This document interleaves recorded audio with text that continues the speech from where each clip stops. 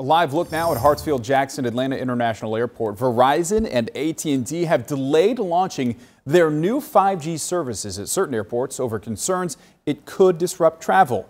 Our Tori Cooper is live at Hartsfield-Jackson this morning with the latest. Tori, what are airlines telling you this morning?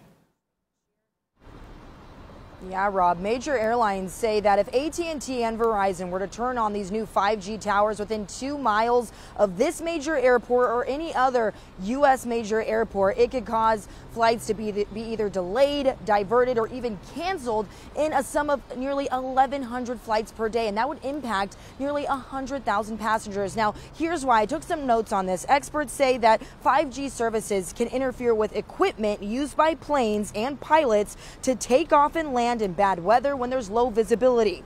Emirates, Japan Airlines, and Air India canceled flights just this week because of these concerns. Now, airline executives from Delta and other major airlines sent a letter Monday warning that the technology is one of the biggest threats to air travel. And some researchers, however, we spoke to at Georgia Tech say it may not cause interference, but passengers were also hopeful this wasn't going to get in their way either a lot of the airlines are concerned about that 5G coming online because of their uh, radar altimeters operating on the aircrafts that operate up at about 4.2 gigahertz. So, um, in theory, this new 5G really shouldn't interfere with these aircrafts because there's quite a bit of spectrum that separates the equipment between the 5G equipment and the, and the aircraft altimeter. I hope that there's no disruptions in the flights or the patterns, and I really hope that the technology has advanced enough that it